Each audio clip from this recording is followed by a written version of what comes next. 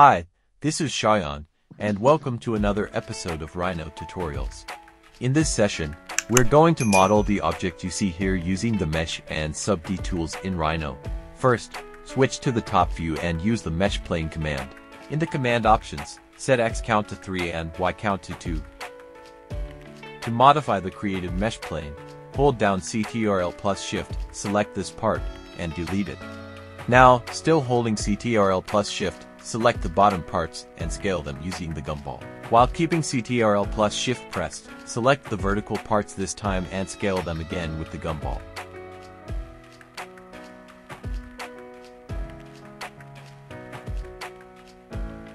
Next, select the entire mesh and mirror it along this axis.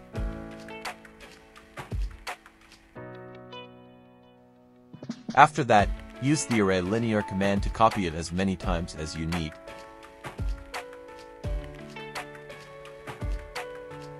Select all the created objects, join them together using join, and weld their edges with the weld command.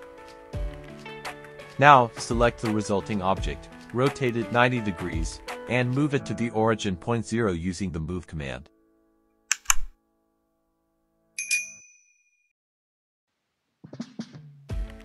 Use the orient command and in the command options, set copy to yes.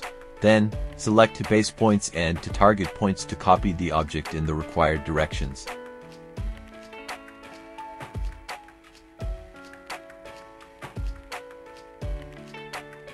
After that, select all the objects and join them together. Now, we'll use the taper command. To use this command, you need to create a vertical axis at the center of the object. Hold Shift Go two the OSNAP panel and click between. Then, click to diagonal points at the bottom square of the object. Hold CTRL and click the same point again to create a vertical axis. Make sure the height of this axis is correct. Adjust the tapering to your desired level.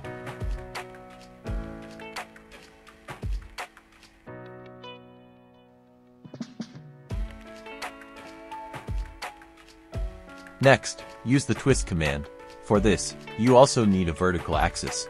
Repeat the same steps as for the taper command. Hold shift, activate between in the OSNAP panel, select to bottom points of the object, and finally hold CTRL two create the required axis. Twist the object to your desired degree.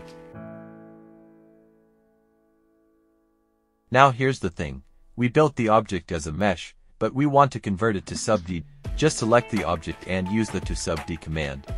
Once that's done, you can delete the mesh object and keep the sub-D object. To add thickness to the new object, use the offset sub-D command.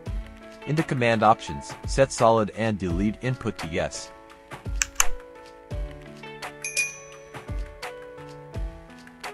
Finally, to smooth the object's edges, use the remove crease command and select all the edges to make them smooth.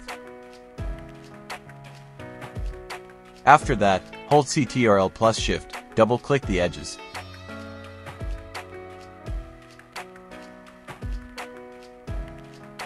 And use the crease command to make them sharp.